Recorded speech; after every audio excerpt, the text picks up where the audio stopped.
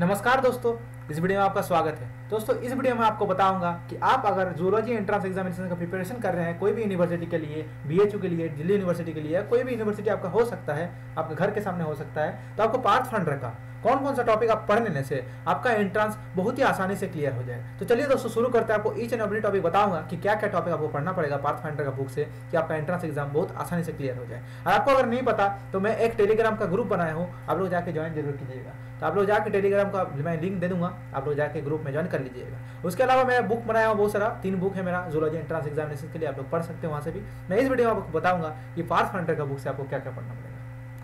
पहले आपको पता है कि आपको जूलॉजी एंट्रेंस एग्ज़ाम दे रहे हैं तो आपका जो जेनेटिक्स पार्ट होता है, वो बहुत ही इंपॉर्टेंट होता है। वहाँ से मेजोरिटी क्वेश्चन पूछा जाता है। तो आपका है, जो रोल है आपको, यहाँ पर देखना पड़ेगा मेंडल जेनेटिक्स क्या होता है लॉ ऑफ़ इनहेरिटेंस क्या है, कितना तरह का होता है आपका।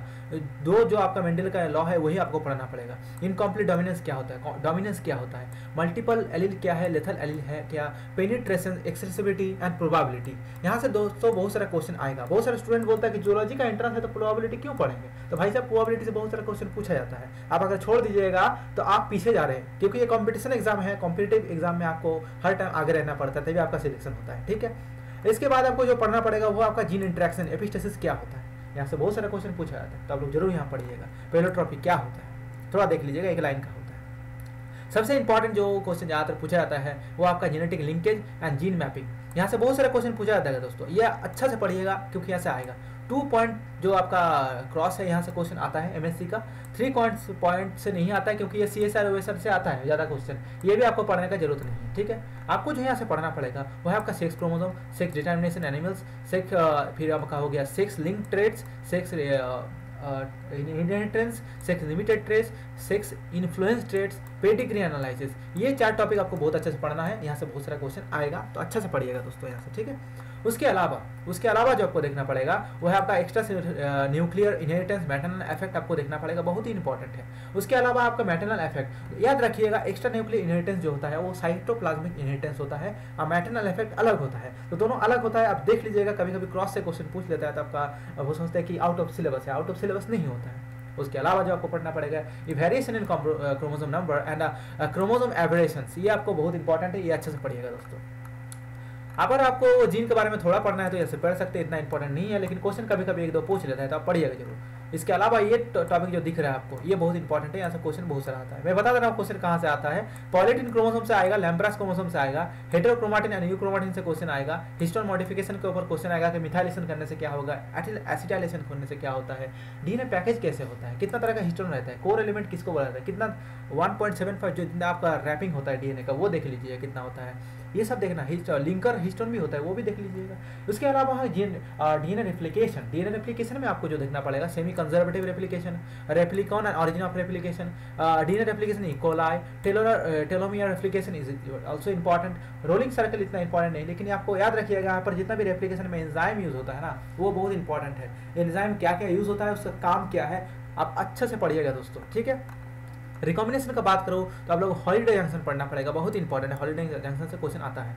उसके अलावा डीएनए रिपेयर से क्वेश्चन आता है DNA direct repair excision repair mismatch repair यहाँ से मेजोरिटी क्वेश्चन आता है। मैं जितना बार सॉल्व किया हूँ, यहाँ से क्वेश्चन मेजोरिटी आ जाता है। उसके अलावा आपको जो पढ़ना पड़ेगा, वो हो गया आपका ट्रांसक्रिप्शन ट्रांसक्रिप्शन में पढ़ना पड़ेगा ऑपरेटर क्या होता है प्रोमोटर क्या होता है एनहांसर क्या होता है, जितना भी सिस रेगुलेटरी एलिमेंट है, आपका क्या क्या है, आपको देखना पड़ेगा, क्योंकि यहाँ से क्वेश्चन बहुत सारा आता है। तो ट्रांसक्रिप्शन यूनिट देख लीजिएगा प्रोकैरियोटिक ट्रांसक्रिप्शन देखिएगा। यूकैरियोटिक ट्रांसक्रिप्शन की बात करो तो यूकैरियोटिक ट्रांसक्रिप्शन में जो क्वेश्चन पूछा जाएगा आपको, वो हो गया आपका sequential transcription factor loading in the TATA box TATA box में आपका जो सिक्वेंशियल लोडिंग होता है आपका ट्रांसक्रिप्शन फैक्टर का, वहाँ से ये चीज़ आप पढ़ लीजिएगा। को एक्टिवेटर एक्टिवेटर क्या होता है? और DNA motif DNA binding motif कितना तरह का होता है, कितना टाइप्स होता है, ये ज़रूर देख लीजिएगा। आरएनए प्रोसेसिंग का बात करूँ तो आरएनए प्रोसेसिंग में आपको जो पढ़ना पड़ेगा processing end of the eukaryotic pre mRNA ये बहुत इंपॉर्टेंट है। फाइव प्राइम कैपिंग हो गया पॉलीएडिनाइजेशन हो गया, आपका स्प्लाइसिंग हो गया स्प्लाइसिंग का बहुत सारा वेराइटी होता है group one group two normal ज़रूर देखिएगा दोस्तों इसको, ठीक है?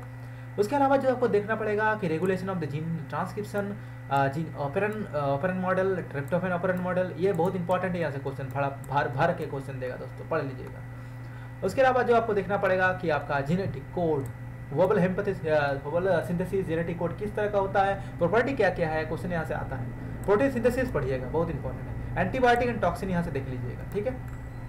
म्यूटेशन का बात करूँ तो बी एच में अगर जा रहे हैं तो बी एच में आप पता होगा, वहाँ पर ड्रोसोफिला के ऊपर काम होता है। और ड्रोसोफिला के बहुत सारा म्यूटेंट बनाया जाता है। और चेक किया जाता है क्रॉस करा करा के। तो ये म्यूटेशन बहुत इंपॉर्टेंट है। अच्छे से देखिएगा म्यूटेशन क्या होता है टाइप्स ऑफ़ म्यूटेशन क्या होता है एमिस टेस्ट क्या होता है, ज़रूर देखिएगा। साइंटिस्ट का नाम याद रखिएगा एमिस टेस्ट क्या होता है, देख लीजिएगा। कॉम्प्लीमेंटेशन टेस्ट डायरेक्ट क्वेश्चन पूछ लेगा, ठीक है? तो ज़रूर पढ़िएगा इसको। नहीं समझ पा रहे हैं तो वीडियो देखिएगा।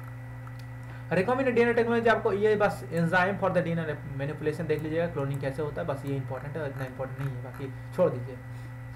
प्लांट फिजियोलॉजी को पढ़ने का ज़रूरत नहीं है, आपको अगर जोलॉजी का एंट्रेंस एग्ज़ाम दे रहे हैं। ह्यूमन फिजियोलॉजी का बात करो तो ये टिश्यू के बारे में थोड़ा आपको नॉलेज होना चाहिए कि टिश्यू कैसे बनता है। उसके अलावा एक्शन पोटेंशियल बहुत इंपॉर्टेंट दोस्तों।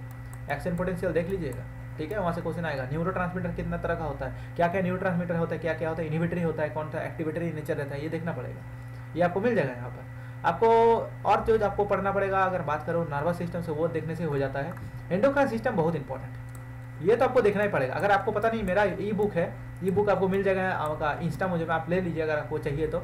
और एंडोक्राइन सिस्टम बहुत इंपॉर्टेंट ये पढ़ना ही पड़ेगा आपको। यहाँ से बहुत सारा क्वेश्चन आता है तो एकदम छोड़ने का कोई सवाल ही नहीं उठता है।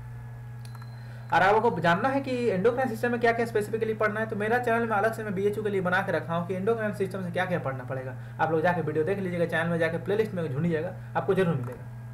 रेस्पिरेटरी सिस्टम से आपको carbon exchange of the oxygen carbon dioxide Bohr effect क्या होता है? हेल्डन इफ़ेक्ट क्या होता है? ऑक्सीजन सेचुरेशन कार्ब क्या है? सीओ टू सेचुरेशन कार्ब क्या है? ये सबको देखना पड़ेगा हेमोग्लोबिन का स्ट्रक्चर पढ़ना पड़ेगा, ये सब थोड़ा इंपॉर्टेंट है। उसके अलावा इतना इंपॉर्टेंट यहाँ पर है नहीं कुछ। अगर बात करूँ कार्डियो सिस्टम का तो देखिए दोस्तों कार्डियोवास्कुलर सिस्टम में जो क्वेश्चन पूछा जाता है, वो हर साल एक ही जगह से क्वेश्चन पूछा जाता है। Cardiac conduction and cardiac cycle ये दो चीज़ आप पढ़ लीजिएगा यहाँ पर। और कुछ पढ़ना नहीं है आपको, ठीक है? आरबीसी आपको पता ही होगा डब्ल्यूबीसी आरबीसी प्लाज्मा क्या होता है, आपका प्लाज्मा में आपका सीरम क्या होता है प्लाज्मा सीरम में डिफरेंस क्या है ब्लड वेसल्स कितना तरह का होता है, ये तो नॉर्मल चीज़ है कि आपको आता है। और नहीं भी आता है तो पढ़ लीजिए, कोई दिक्कत नहीं। डाइजेस्ट सिस्टम का बात करूँ तो आप लोग एक्सेसरी डाइजेस्ट ऑर्गेन पढ़ लीजिएगा। एब्सोर्शन ऑफ़ फ़ूड पढ़ लीजिएगा डाइजेशन कैसे होता है, कौन सा आपका एंजाइम यूज़ होता है, कौन सा ऑर्गेन से निकलता है, ये आपको देखना पड़ेगा। एक्सकटरी सिस्टम का बात करूँ तो यहाँ पर आपको structure and function of the kidney and nephron ये पढ़ना पड़ेगा। यहाँ पर बहुत सारा फिल्ट्रेशन फोर्स होता है यूरिन फॉर्मेशन के लिए बहुत सारा आपका देखिएगा फिल्ट्रेशन होता है आपका ऑस्मेटिक फोर्सेज होता है, वो क्या क्या होता है आपको पढ़ना पड़ेगा यहाँ से। उसके अलावा आपको काउंटर काइंड मैकेनिज्म पढ़ना पड़ेगा यूरिन फॉर्मेशन पढ़ना पड़ेगा, बहुत इंपॉर्टेंट है, पढ़ना ही पड़ेगा, छोड़ने का कोई सवाल नहीं उठता। है रिप्रोडक्टिव सिस्टम का बात करूँ तो मेल रिप्रोडक्टिव सिस्टम पढ़ लीजिएगा फीमेल रिप्रोडक्टिव सिस्टम पढ़ लीजिएगा और रिप्रोडक्टिव साइकिल मतलब मेंस्ट्रुअल साइकिल पढ़ लीजिएगा। उसके अलावा जो आपको पढ़ना पड़ेगा वो है आपका स्टुअल साइकिल ये भी बहुत इंपॉर्टेंट होता है। आ, उसके अलावा अगर आपको पढ़ना है इकोलॉजी में तो इकोलॉजी देखिए बहुत आसान चीज़ है ये आप एकदम या पूरा यहाँ तक पढ़ लीजिएगा। क्योंकि क्वेश्चन यहाँ से आता है बहुत ईजी क्वेश्चन आता है आप कर लीजिएगा। ये पढ़ना है पूरा ठीक है? ये बायो छोड़ भी दीजिएगा कोई दिक्कत नहीं। पॉपुलेशन इकोलॉजी एकदम छोड़ने का सवाल नहीं है अच्छे से पढ़िएगा ठीक है? ये छोड़ भी दीजिएगा कोई दिक्कत नहीं। सक्सेसन छोड़ भी दीजिएगा, कोई दिक्कत नहीं। ये भी छोड़ दीजिएगा, कोई दिक्कत नहीं। बायोडाइवर्सिटी पढ़ना पड़ेगा, यहाँ से क्वेश्चन आता है तो ये अच्छे से पढ़ लीजिएगा, ठीक है? बी बार इकोलॉजी पढ़िएगा, क्योंकि यहाँ से क्वेश्चन आता है। बी में तो भर भर के आएगा, ठीक है? और पॉल्यूशन से भी क्वेश्चन आता है तो ये पोर्सन भी पढ़ लीजिएगा। यहाँ पर उतना देखने की ज़रूरत नहीं, एक बार पढ़ के बार बार रिवाइज कीजिएगा, यहाँ से ये टॉपिक हो जाएगा, ठीक है? उसके बाद इवोल्यूशन की बात करूँ तो आपको लेमार्किज्म डार्विनिज्म पढ़ना पड़ेगा। एविडेंस ऑफ़ एवोल्यूशन पढ़ना पड़ेगा। नेचुरल सिलेक्शन पढ़ने pattern of evolution and population genetics ये थोड़ा देख लीजिएगा। हार्डी विनबैक तो बहुत इंपॉर्टेंट है, पढ़ना ही पड़ेगा, इसको छोड़ने का कोई सवाल नहीं उठता है। फाउंडर इफ़ेक्ट क्या होता है आपका? ये सब आपको देखना पड़ेगा, ठीक है? Genetic tree founder effect industrialism ये सब देखना पड़ेगा। स्पेसिएशन से भर भर के क्वेश्चन देगा। Evolution forces involve in speciation पढ़ लीजिएगा। नेचर ऑफ़ इवोल्यूशन ये देखना पड़ेगा। और यहाँ पर एक चीज़ और आता है, वो होगी आपका जियोग्राफिकल टाइम स्केल जहाँ से क्वेश्चन आता है। तो ये ज़रूर देख के जाइएगा दोस्तों लोग। जियोग्राफिकल टाइम स्केल से बहुत सारा क्वेश्चन आता है तो इसको छोड़ने का कोई सवाल नहीं होता है। तो ये मैं बता दिया आपको जूलॉजी एंट्रेंस एग्ज़ाम के लिए पार्थ फंडे से क्या क्या पढ़ना है, ज़रूर पढ़िएगा। ये सब पोर्सन से क्वेश्चन आता है दोस्तों। मैं बहुत दिन से पढ़ा रहा हूँ स्टूडेंट को मुझे पता है। अगले साल भी बहुत सारे स्टूडेंट क्वालिफाई कर गया बी एच एंट्रेंस अब मेरा बुक अभी तक नहीं ले, ले लीजिएगा और ग्रुप जो बनाया मैं टेलीग्राम में वहाँ पर ज्वाइन ज़रूर हो रहिएगा तो बहुत बहुत धन्यवाद दोस्तों वीडियो देखने के लिए प्रेम पूर्वक आदर पूर्वक हर बार लाइक करने के लिए शेयर करने के लिए और आके कॉमेंट करने के लिए। क्या दोस्तों नेक्स्ट वीडियो में मैं और लाऊँगा कि बी में आपको क्वालिफाई करने के लिए क्या क्या चीज़ और चाहिए। तो चैनल को सब्सक्राइब फटाक से कर लिया दबा के लाइक मारिए ठीक है?